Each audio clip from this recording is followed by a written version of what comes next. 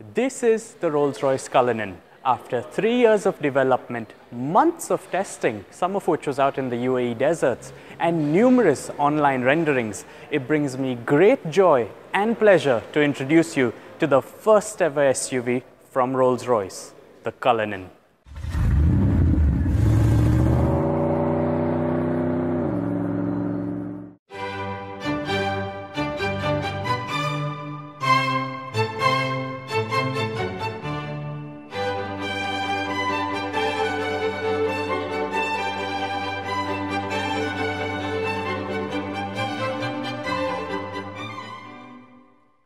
A few quick facts about the Rolls-Royce Cullinan. It's named after the largest diamond ever discovered in the world. It does not steal the limelight from the Phantom, which remains the brand's flagship model. And the Cullinan is the brand's first ever all-wheel drive vehicle. In the Rolls-Royce Cullinan, you can close the door by a simple press of a button. And that's just the tip of the iceberg for how luxurious this cabin truly is. Leg space, even though there's no plans of an extended wheelbase version at this point in time, and quite frankly, there doesn't need to be, you can have this interior customized with either a bench seat layout like we have here for three people, or two individual seats in the back.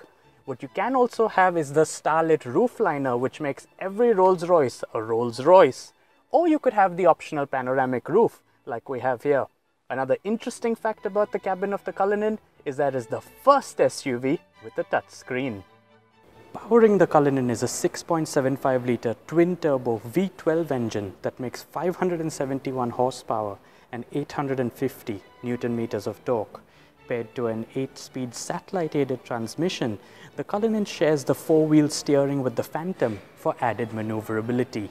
For those who wish to take it off-road, there's also a simple off-road button with three different settings for the traction control system to conquer any and all terrain. Although the Cullinan did receive some slack for its blockish design, the fact is that it carries the brand into a new dimension, a dimension that is likely to see increased sales, greater popularity, and even more exclusivity. Is it what the Cayenne did for Porsche then? I think so.